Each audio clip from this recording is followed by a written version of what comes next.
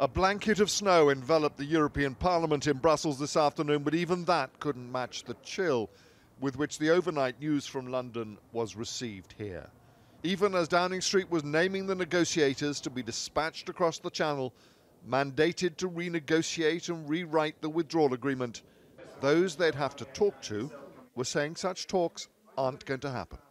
Are you ready to sit down with British uh, negotiators and start all this uh, over again? The, the, position of the European Union is very clear. It has been expressed yesterday by the President Tusk, and the President Juncker will make a statement to the Parliament this afternoon. So thank you very much. He gave the same message to leading members of the European Parliament, crucial to these talks because they must ratify any deal. And they won't if there's no backstop to ensure no hard border in Ireland. Anyway, as the Commission President explained, it's unlikely anyone here would ask them to. I have the impression that uh, some hope that the 26 other countries will abandon the backstop, and so Ireland at the last minute. But this is not a game. Ireland's border is Europe's border, and it is our union's priority. If Mrs May does come to Brussels this week or next, she will certainly be received with all diplomatic niceties. But what, some are asking, would be the point? She's always welcome. For what?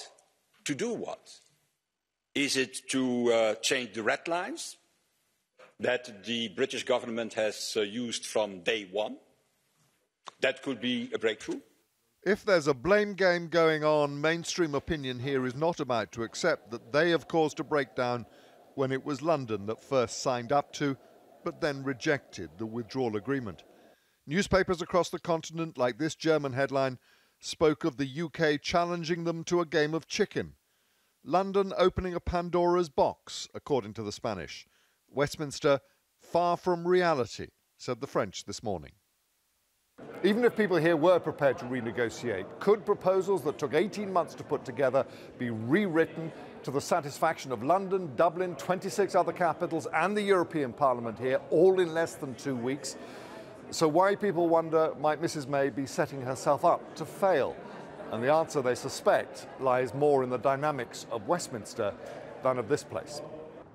But for now, they await the arrival of the British negotiators, even of Mrs May herself but with no clear indication of who they'll be talking to or about what. James Mates News at 10, Brussels.